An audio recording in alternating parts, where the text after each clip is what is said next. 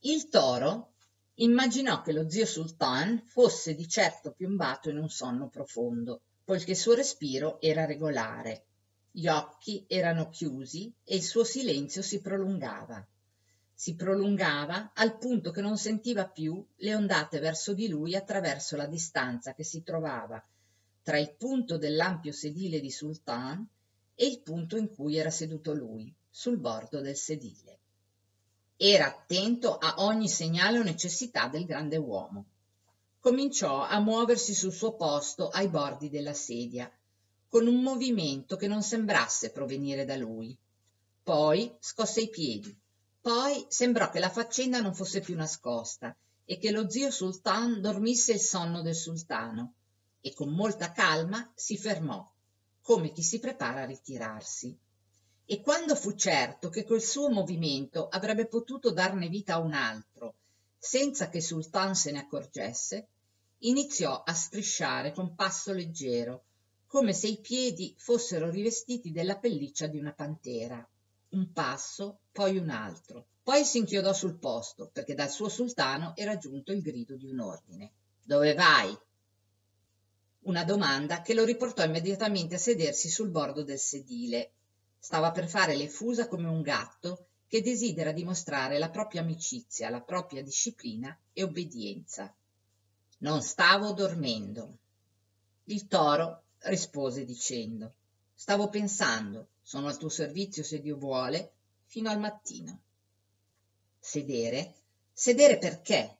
Una domanda che girava nella testa di entrambi e se la domanda frullava nella testa del toro con poca perplessità la perplessità maggiore era quella di sultan. Perché gli aveva ordinato di tornare a sedersi e gli aveva detto di essere sveglio e di volere ancora la sua presenza anche se era tardi e tutti persino dentro la casa sul cui balcone sedevano dormivano? Gli tornò il brivido perentorio cupo che non poteva respingere né accettare.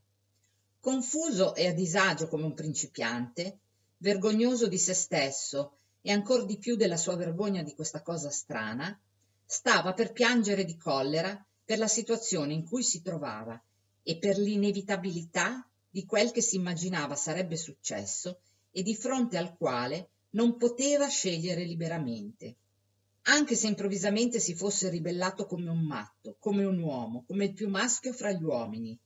Il leader che manipolava la sua viralità anche se il suo nome era il toro. Tornò il silenzio che sembrava essere l'unica soluzione all'ambiguità. Sultan non tornò a ripercorrere la sua vita per cercare l'inizio del disastro o il suo risveglio.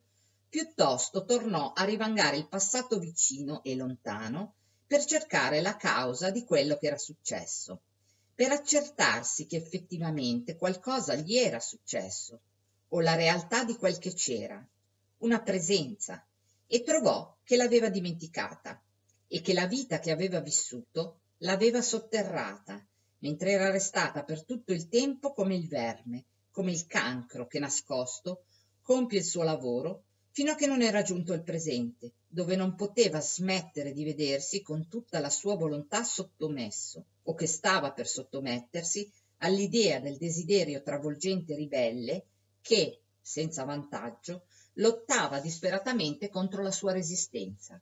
L'idea di sottomettersi davanti a quel giovane spaventato che lo temeva e temeva la sua virilità e i suoi quattrini finché non gli si parò davanti il pensiero che il toro si immaginava il contrario e tremava per paura che lo zio sultan gli chiedesse quel che i più forti chiedono ai più deboli e le richieste di sultan erano ordini assoluti cui non ci si poteva sottrarre né sfuggire.